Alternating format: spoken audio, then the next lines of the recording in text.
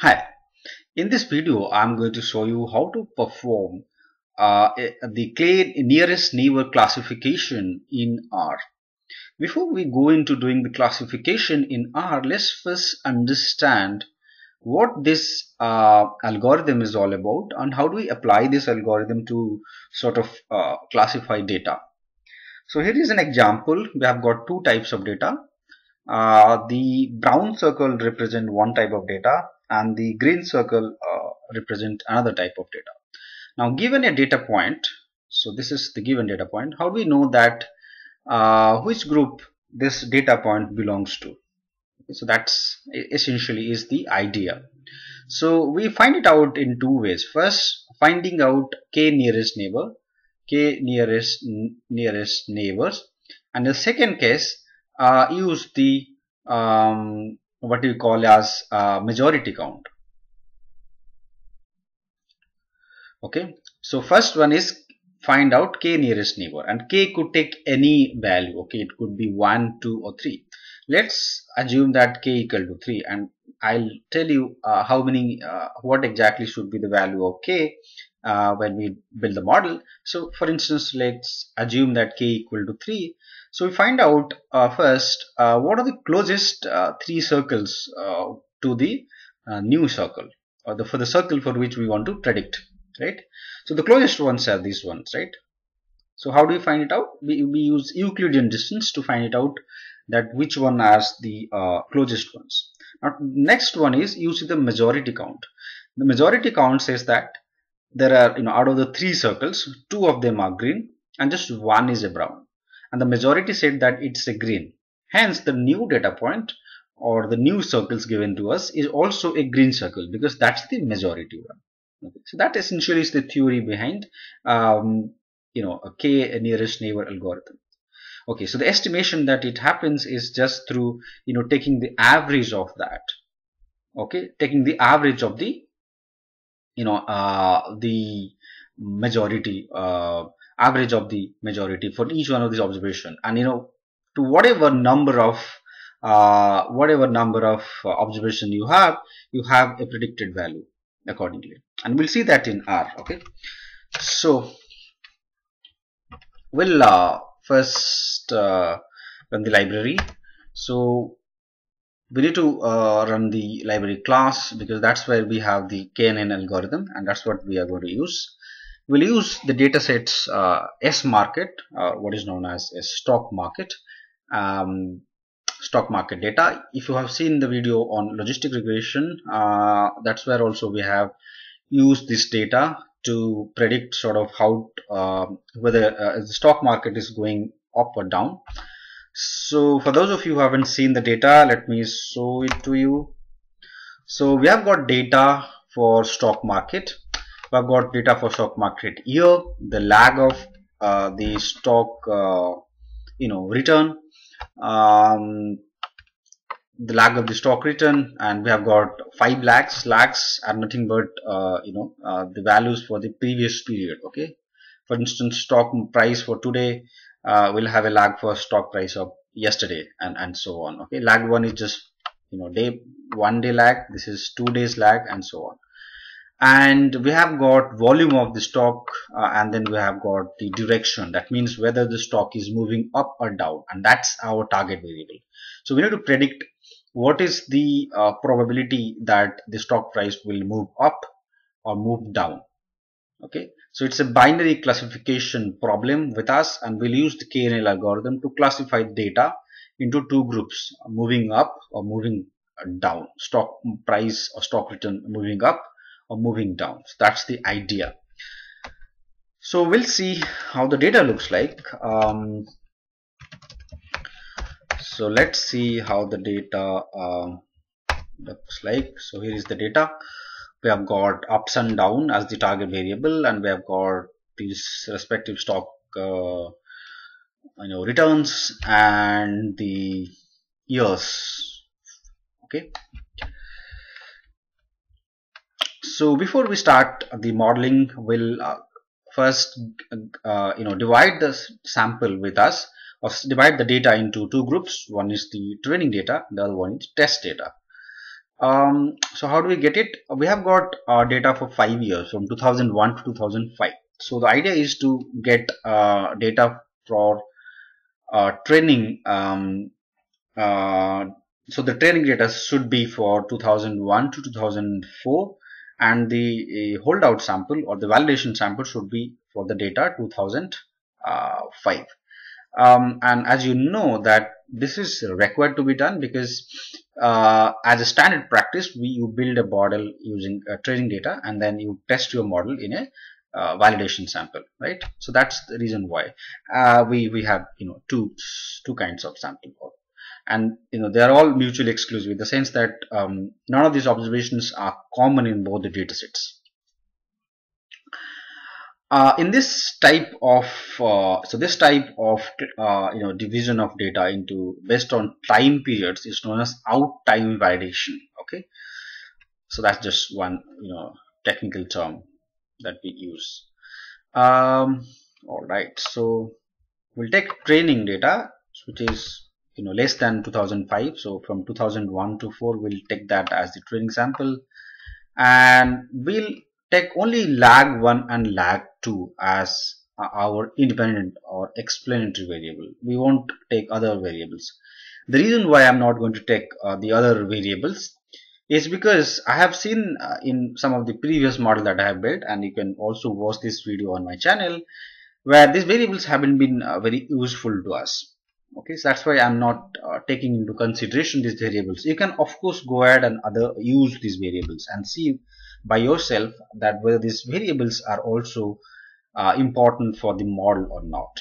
Okay i'm just ignoring it for the simplicity purpose because the idea of, uh, of course uh, in this particular session is to see how to run uh, the k nearest uh, neighbor algorithm and the um, you know the variable selection is secondary to us in this particular session but it is very important for a real-time uh, model building process so i'm going to take the training data based on uh, the uh, based on what we have selected. Uh, previously we'll take the first four years as the training data and we'll use the cbind function just to take uh, the lag 1 and lag 2 and remember i'm just taking the uh, explanatory variables okay? Separately i'll use the target variables. So target variable is direction that i'll take separately. So i'll take only the um, I'll take only the uh, explanatory variables in the training set. Similarly, I'll also take the uh, explanatory variables in the test set for uh, for 2005, right? So this is for 2001 uh, to 4, and we're going to use this. Okay, and we'll also run it for 2005, which is going to be the test data and we'll also use or we'll also use a variable to uh, you know sort of uh, get the training sample for the target variable. Normally you will find in other algorithms that you use both the target and explanatory variable in the same data. But here we are using two different uh, data. Because that's the way the KNN algorithm um, you know has been uh, you know has been there. I mean the syntax is there. So we'll see that's uh, you know something that is a prerequisite in KNN algorithm uh, or the KNN procedure in R. Okay, so we also get that from the uh, dataset Smarket and we'll use the train um, as the subset. Okay, so now we have the target variables that's in direction and we have got the uh, explained uh, you know explanatory variables in Smarket train which for training data and for Smarket test we uh, of course have uh, explanatory variable for testing data. Now you might wonder why don't we have direction for test data? Because we don't need that. Do we need? No. Only we need that for you know validation purpose while you know creating the confusion matrix and we'll get that at that point of time. Okay? For building model that's not required. But let's do that because why do we you know do that at that point of time. So let's also have uh, the uh, testing target variable. Okay. So that's the way we so we just use minus of train which says that in you know just take all data points which are not in uh, train. Okay. All right. Then we'll use a seed actually. The reason why we are going to use a seed because we uh, KNN algorithms actually use, use a certain kind of procedure that will produce different result. So just to make sure that the result is uh, can be uh, you know repeated uh, later on or it can be uh, you know found it can be uh, you know uh, it can be um, you know reproduced we need to use a seed. And that's we do all the times whenever we need to reproduce the same result. So let's first see what the dimension of our training and testing data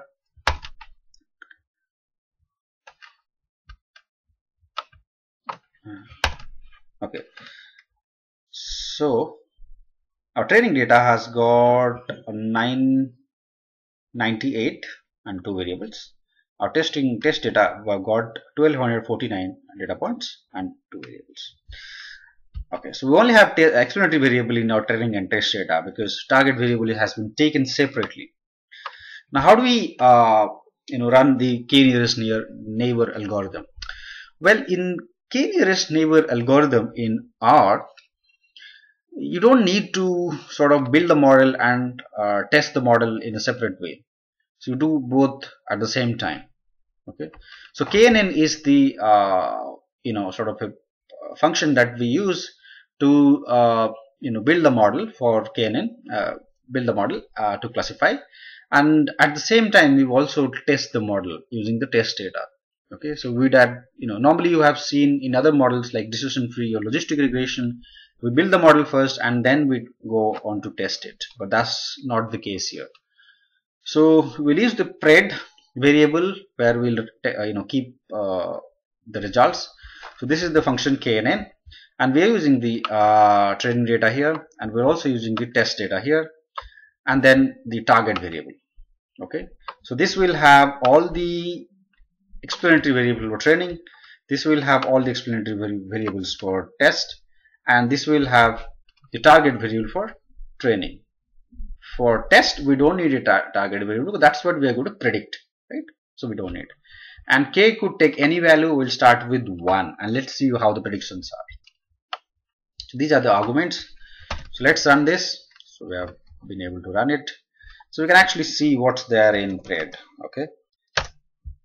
So in PRED, we won't get any statistics. Now, if you're familiar with the theory of k nearest neighbor and we just, you know, had a glance through uh, what the theory is, uh, k nearest neighbor is, is a non-parametric way of classifying your data. So what do you mean by non-parametric way is that we do not get estimates as such. You might have seen estimates in linear regression, in logistic regression, in decision uh, uh, you know in in some of these other uh, regression based algorithms. But k nearest neighbor is a purely non-parameter. That means you do not get estimates. You do not get beta parameters beta naught beta 1 and so on. You do not get uh, something like r square or c statistics and, and, so on because this is not a statistical estimation per se. It's a pretty mechanical way of just finding the nearest data points uh, and taking the majority count. Okay so that's uh, non-parametric. That means you do not uh, sort of assume any distribution of data and do the estimation. You just take uh, data points nearby the test data points and find out uh, the class of the data. Okay. So in the uh, result, you only get the final predicted value. That's why you have only ups and downs. So uh, we have got ups and downs for all the test data points so this data that you can see on the screen is the data for the uh, test. Okay. So remember we had 1243 data points right in our test data. And that's exactly uh, uh, the numbers that we have got here.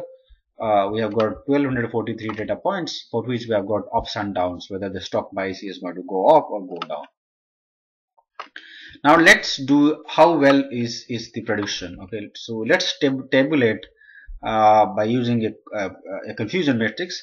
So uh, we have the predicted value in pred and we have the actual value that we just you know uh, we just uh, assigned previously. So that's in direction dot 2005 that means we have the target variable for the year 2005 that's our test target variable right? So we have got predicted and we have got actual. So this is actual and we have the predicted value over here. So when we table it we found out that um, okay 534 of them uh, down is matching with down and up is matching with up is 583 and so that these are uh, the diagonal elements which are matching and the off diagonal elements are 68 and 58 so let's see what is the accuracy okay? What percentage of so how do we find it out? So we just take the mean of predicted equal to um, actual okay so I don't know which one did we run. We run this one right? Yes. So let's take wherever we have predict uh, predicted value is equal to the actual value that's matching right? And what is the percentage of accuracy? Okay so let's find out the accuracy. So the accuracy is 89.89 uh, percent in this case. Okay so accuracy is very good in this case okay. Let's use k equal to 2 and let's see whether this accuracy is improving or not okay. So previously it was k equal to 1 let's take k equal to 2 and let's also tabulate it and find the accuracy okay. So the accuracy is going down. So now it is 71 percent so with k equal to 1 we had a very good accuracy. But with k equal to 2 it has gone down. Let's see how uh, how it performs when k equal to 3 so syntax remains same. You simply change k equal to 3 and then let's run the model and then we are tabulating it and finding out the mean. I'm doing all the three steps uh, in just one go. Now it's 71% again right? There is hardly any change uh, with k equal to 4 so this is where k equal to 4 let's see. Okay it is further down right? It is now 65% so initially we had 80 what is that? 89% uh, it has now come down to 65% now if we increase k the classification rate is going down. That's what we have found here. But it won't be the same everywhere. You know you could have different experiences with different data. So it's all depend depends on the distribution of the classes of data now here in our case we have found that k equal to 1 is actually giving us the best result and that's exactly what we are going to use for the final prediction or, or for prediction for the new set of data. So for this particular data, k equal to 1 is the, uh, you know, sort of the best uh, k value. So that's the way you, you know, sort of uh, use the KNN algorithm to classify your data. So the key thing here is uh, that uh, finding out the optimal value of k. Now, once that is known, you just have to, uh, you know, use of a formula or use the function and you know do the prediction. That's exact. So the exercise that we have done is just to find out what is the optimal value of k. Right?